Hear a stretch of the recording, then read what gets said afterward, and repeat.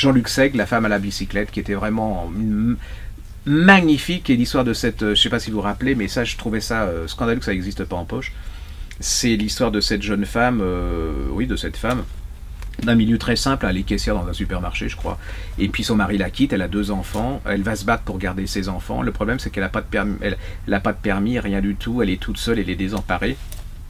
Et puis un jour, elle trouve une, bicyclette, une motocyclette. C'est une motocyclette, hein, c'est ça C'est qu'on appelle ça Oui, mobilette. mobilette. Vous savez, les vieilles mobilettes, les mobs. Et la mobilette, pour elle, c'est la liberté parce qu'elle va pouvoir. Euh, elle était au chômage, elle va pouvoir trouver un emploi.